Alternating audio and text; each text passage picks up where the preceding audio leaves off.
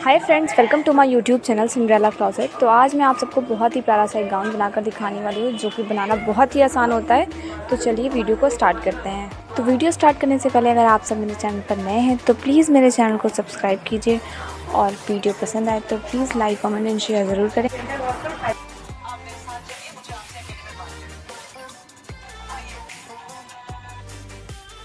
तो मैंने यहाँ पे कपड़े को चार परत में मोड़ कर बिछा दिया और अब हम अपनी मार्किंग करना स्टार्ट करेंगे। मैं यहाँ पे अपने शोल्डर का हाफ़ ली क्योंकि मुझे यहाँ पे अपने फ्रंट नेक बोट नेक चाहिए। आप अपने नेक के अकॉर्डिंग इसको कम कर सकते हैं।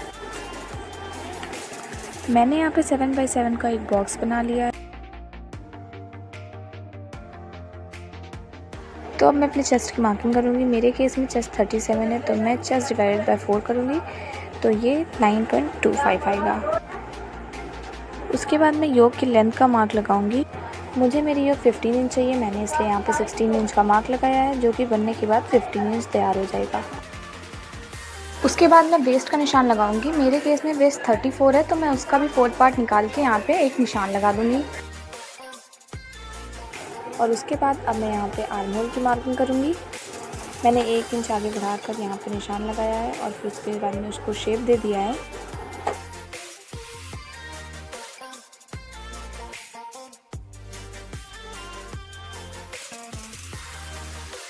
अब हम अपने मार्जिन का निशान लगाएँगे। मैंने यहाँ पे दो दो इंच का मार्जिन लगाया हुआ है।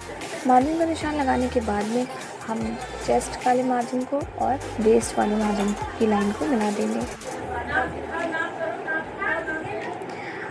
उसके बाद अब हम बाहर बाहर की लाइंस को कट कर देंगे।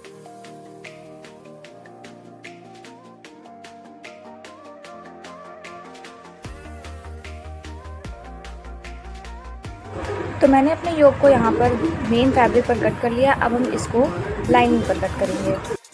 हम कपड़े को इस तरह से बिछा के इसके बाहर बाहर के एरिया को कट कर देंगे। तो अब हम अपने मेन फैब्रिक के ऊपर लाइनिंग को रख के स्टिच कर देंगे। तो ये मैंने स्टिच कर लिया है। अब हम अपने योग को मेज़र करेंगे। हमारे यहाँ पे साढ़े बीस आ रहा है। अब हम अपने घेरे को कट कर लेंगे तो मैंने यहाँ पे अपने घेरे को कट कर लिया है। तो मैं आपको यहाँ पे नाप के दिखाती हूँ कि मैंने यहाँ पे कितना ले रखा है। तो यहाँ पे फोर्टी सिक्स आ रहा है तो मैंने इसको वेस्ट का डबल प्लस उसमें फाइव इंच एक्स्ट्रा लिया है। फिर उसके बाद हम अपने घेरे में वन वन इंच का मार्क लगाएँगे। बिल्कुल इसी तरह से।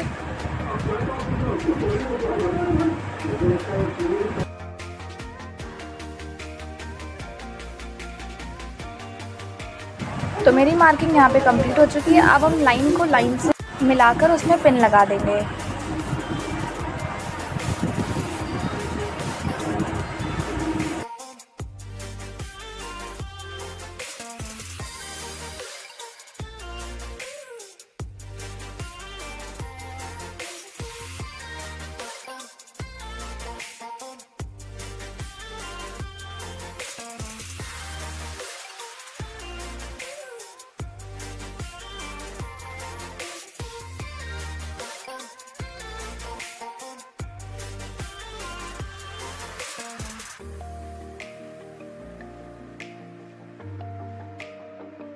मैंने यहाँ पे पिन लगा के सारी प्लेट्स को बिठा है। अपने घेरे के फ्रंट साइड को और योग के फ्रंट साइड को रखेंगे और ऊपर से इसको स्टिच कर देंगे। ये मैंने स्टिच कर लिया है और इस पर मैंने टॉप स्टिच भी सिला दी है। नेक रेडी कर लेंगे। मैंने यहाँ पे नेक को भी शेप में बनाया है। आप चाहें तो किसी भी शेप में बना सकते हैं। हम योग के सेंटर में एक नॉच लगाएँगे। और सेम नॉच हम अपने नेक साइड पे भी लगा लेंगे। इस तरह से। फिर उसके बाद में सेंटर से सेंटर को मिला के हम इसको पिनअप कर देंगे।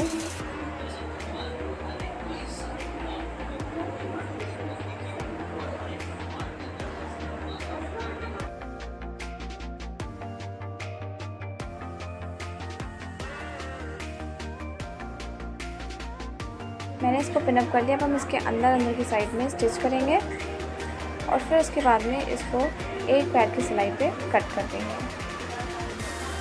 ये मैंने इसको कट कर लिया और अब हम इसमें छोटे छोटे से कट्स लगाएँगे जिससे कि आसानी से पलट सके। मैंने कट लगा के इसको अच्छे से पलट लिया है। और उसके बाद आप चाहे तो इसमें मशीन चला सकते हैं या फिर इस पर खूब अच्छे से तुरपाई भी कर सकते हैं। मैंने यहाँ पे तुरपाई किया है।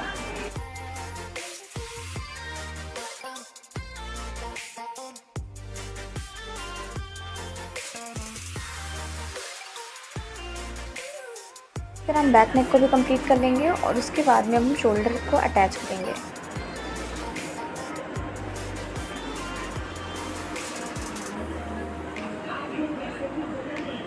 इस तरह शोल्डर से अटैच करने में बहुत अच्छी फिनिशिंग आती है। शोल्डर अटैच कर लिया, अब हम इसको सीधा करेंगे।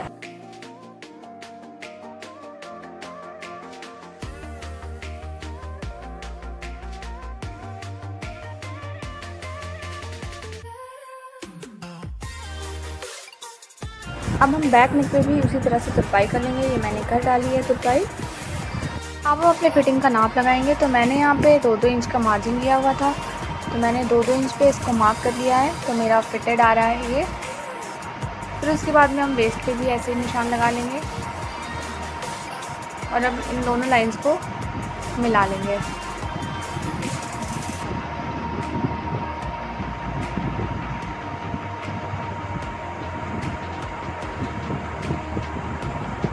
और मैंने जहाँ पे मार्क किया है, अब मैं उसी पर सिलाई चला लूँगी। सिलाई चेस्ट से लेंथ के एंड तक लगाएँगे, उसके बाद मैंने इसमें स्लीव्स भी अटैच कर ली। मैंने स्लीव्स को बिल्कुल सिंपल रखा है। फिर उसके बाद में मेरी ड्रेस कंप्लीट हो जाती है। आप देख सकते हैं कि कितनी ज़्यादा प्यारी लग रही है। मैंने एक चौड़ी लेसेस का बेल्ट बनाया जिसमें कि प्यारी प्यारी लटकन्स लगाएँगे इसी साड़ी के लेस से। आप इस ड्रेस को किसी भी फ़ंक्शन या फेस्टिवल के लिए बना सकते हैं। Thank you so much friends video के एंड तक बने रहने के लिए। चलिए मिलते हैं नेक्स्ट वीडियो में।